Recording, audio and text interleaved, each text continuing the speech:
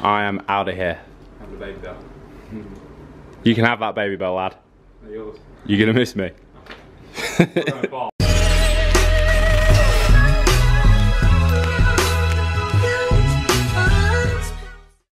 So what's up guys and welcome back to the channel. As you may notice, I have a different background behind me and that is because I've moved out and I've actually moved out from Will. So in today's video guys, I'm going to be discussing with you the main reason why I moved out from Will. The main reason I'm really doing this video is just to give my top advice on how to work and live with your partner, brother or best friend because I know so many of you out there during this COVID situation had to work from home and it's been putting a lot of tension in relationships. So what I've learned with living and working with Will for the last five years, hopefully be able to help you guys out in the future as well.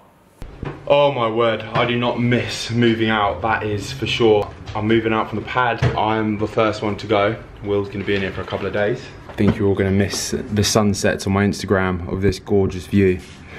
Every time the sunset drops here, even I'm gonna miss it. They're taking the white stall. It's glorious. Look at those clouds today. Wow, hopefully my new pad has a nicer view. Um, right, so I've left you. I said to you, you can have the SodaStream. You can have both wicker bar. Listen, you can have the SodaStream, both wicker baskets. You can have a close room. But I want that, JBL. You've got the desk, the sub thingy. You've got the TV, That's it. and you've got the, the Book of Biscuit wicker baskets. You've got all the lights. You've got the kettle. Anyway. Yeah, as we say, you've got them all.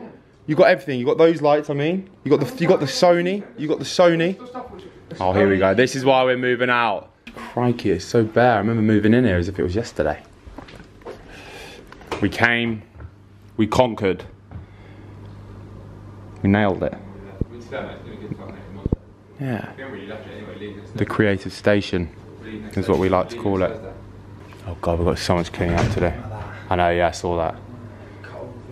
I've left all this stuff as well. I've left loads of grooming products. So whoever's lucky who lives here, is gonna get a ton of grooming products. I was gonna- I'm not gonna take them all downstairs. Oh, yeah. I was gonna say Chroma ones on them. You can have them. There with my man Dimitri here. He's taking, he's packing all my stuff up for us. Ooh. So he's going out to the removal van, and it's all there. Hey, I told you, man, you got to take care of these plants. Yeah, Take care of these plants for me. They're my only, they're my love. okay, that's all this going. Brilliant. The only things I love, and they're still dying on me. Best thing about this removal company they're in, they're out, and they get it done. I've used them before. Fantastic services. They're literally so good. They just like getting the job done quick and easy. Anyway, let's get all this stuff over to my new home. This will be the last time I'm on the floor 12 Mecca. Got into some of the best shapes. Well, I did get into the best shape of my life on this gym. The home of the Mecca. This is it. This was it. And this is the flat I'll be leaving. Ah, feels so empty without me. That's it, just Willie and his shit left. Oh, I need to get my Sky controller. I need that one. That's the only one that works. Damn, it feels so empty. So I've just left Will and I'm heading to my new flat. And you know what? It was really weird. Like, I actually felt quite emotional. Like, I started to tear up a little bit and he was like, mate, you mad? I was like, mate, I just hit me. I was like, I'm leaving. Like, we've been in this pad, we've created so much content in here, we've worked together, we've lived with each other, and I was a little bit upset. Um, but hey, I wear my heart on my sleeve, so that was probably why. Anyway, gonna head to the new apartment now, and yeah, let's see if we can beat the guys there. Because they're in the removal van, I need to get there first, so let's go. Oh, so I'm absolutely exhausted. I've been on a really long shoot today. So the first time I moved in, I basically organised a shoot the next day, which is probably a terrible idea because the entire flat is just in boxes. Let me show you. So this is literally it. I'm not gonna give you guys a full tour yet because yeah, it's an absolute state. What I'm gonna do is go through some of it now, pack up some bits, and then I guess I'll discuss with you the main reason why I probably moved out from Will. Uh, and I think you guys will be interested because, yeah, hold on tight. but I need to organise some of this and make it actually a livable flat because right now it's a pigsty and I hate living like this. So shoot done. I am exhausted. I want to go enjoy some sun, but I physically can't because I've got to get this sorted. But once I'm all settled and all the dust is settled as well, it'll feel so much nicer and like an actual home. And that's what I want. So yeah, let's get cracking. Right then, always the hardest thing. How the hell does this work? Good start. What does this one do? Ah, oh, that swaps that one. Alright. Got it.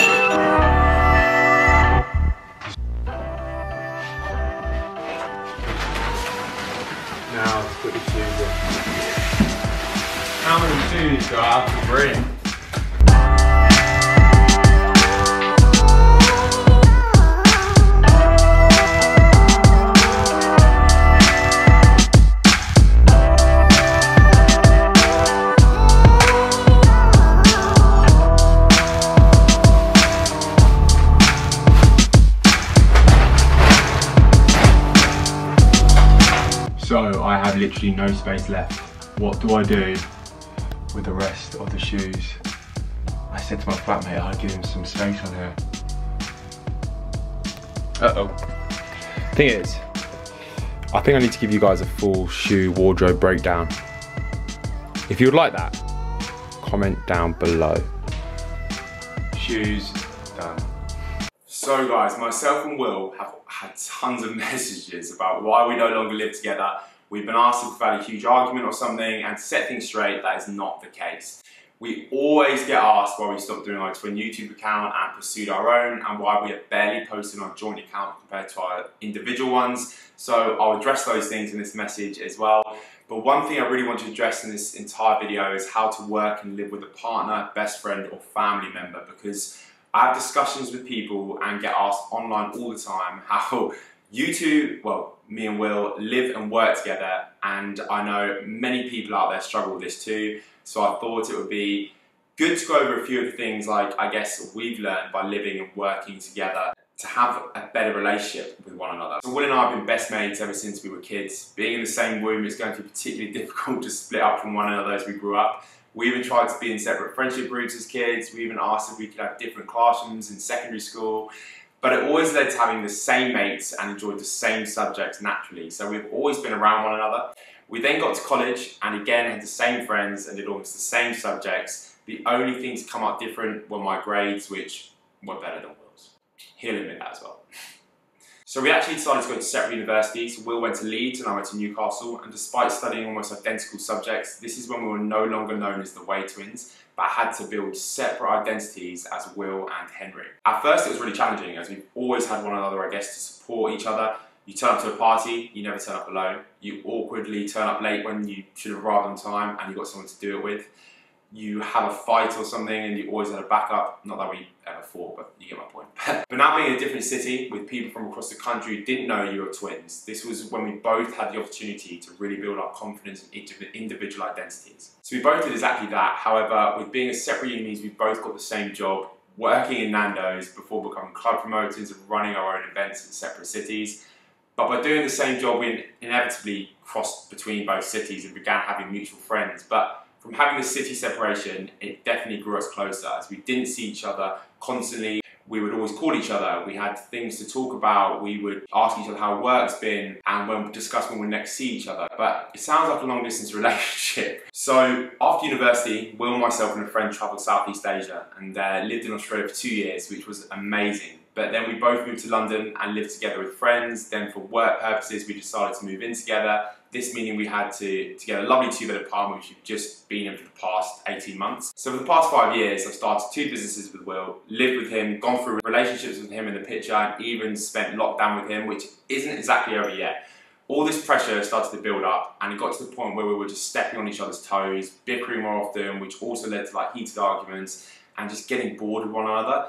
It was beginning to get quite competitive too. Like I'd hear Will wake up at 6 a.m and feel need I needed to get up too, which just shouldn't be the case in any relationship. The last eight months, we've been seeing the same therapist, which has been absolutely brilliant. As she has just been, she's seen an unbiased view on both of us and has no judgment on either of us compared to like friends and family you see from a different perspective. Before we began seeing her, we were both working non-stop, began to procrastinate a bit, and we find ourselves not only taking longer to do easy tasks, but as we did the same job, we were always up at the same time, eating at the same time, having downtime together, and we just felt we were losing our creativity as well as like our best mate status. The thing is, we both knew this, but we couldn't really snap out of it as we picked up some bad habits. So ever since we have seen how our relationship with, another, with one another has just been constantly improving. We've managed to separate constant work chat to fun and normal chat, have our own time and find a good balance between work and fun together and separately as well. But guys, the reason why we moved separately because we wanted it to be like it was university again, where we had to build our own like individual identity, but also it helped blossom our relationship. We can have different ideas, we can bounce off one another with chats over the phone, and then if we need to come together to do stuff, we can do. But in scheduling the work hours and the chill hours, so it's not just constant work, work, work. So we're only early days in, but we're both starting to see the massive benefits of it already, which is obviously great. I guess you also don't want to be living with your twin brother when you're like 40 years old. I guess it gets a little bit weird, especially when you have wife and kids, which I hopefully will have by the time I'm 40 anyway. So guys, if you're struggling with work and living with your partner, my biggest suggestions would be the following tips. Number one is to separate work and downtime. Make sure you're scheduling in hours of work and hours of doing things together you enjoy, and don't bring up work in these hours when you're having that downtime. Yes, there are times and days where you have to just do the work, which can be the case, but there'll be these days where you have no work, and it's those days which you should really cherish and appreciate too. Whether it be like a movie night, date night, walks in the park at lunchtime, picnics, holidays, or whatever. If you don't, you'll just end up getting caught in this vicious circle of work, work, work, which I know can be really hard in London and other cities because it's always like go, go, go. But that downtime is just so important. Number two, I'd say be competitive, but make it a healthy competition. Will and I, in everything we do, we always want to be number one and number two. For example, if we do a 10k race, we aim for the top two spots, but we want to beat each other by just like a fraction of a second. That way we know we pushed ourselves and pushed each other to the best possible versions and possible we can go, but we've also done it in a good way for both of us. The next point, guys, is have alone time. It's so important that in relationships you have your own thing to do. Find out what your hobbies are and dive deep into those. Spend time with your mates, take trips by yourself. It may sound counterproductive, but actually time apart is so important just for rejuvenation for yourself and your own mental health too. The next thing I'd say, guys, is try new things. This could be together or alone. If you want to find your passion or try new hobbies you may enjoy, then I suggest you try one new activity or hobby every weekend straight for eight weeks. It may be tough, but pick one day, afternoon or evening and just commit to it. It could be anything, guys. Rock climbing, learning to dance, going to the gym, or picking up a sport. There's so many opportunities out there, they're just endless. Not only will you find out what you do and don't like, or what you're weirdly good or not good at, but it will give you something to talk about, which is never a bad thing either. The most important point I'd say with you guys is this one. Don't be scared of therapy, guys. I read a quote that said, working on your body is attractive, but show me a receipt of your therapy sessions so I can see you're working on yourself. Don't ever feel sorry or weak for taking care of yourself for your mental health. It is the number one thing I've done in my entire life and have only developed as an adult by doing more of this. I guess as children we pick up some really bad habits naturally from those we're around these are unintentional, but a therapist will dive deep into these childhood-like traumas and issues you've had and explain how they have affected you growing up and how they have distilled in you. And then they will help you remove these and how you can work on them. It's just so interesting as well, and it's also got me really into like neuroscience and how the brain works. For me, it's just like fascinating to see how it all like interlinks from your childhood and everything. So I really suggest you get it done, guys. Couldn't be more the best. Couldn't be one of the best things I've ever done. Begin with those few things, and I promise you, your work life balance and relationships will begin to blossom, whether it be with your brother, girlfriend, partner, or whatever. Like, they really will help.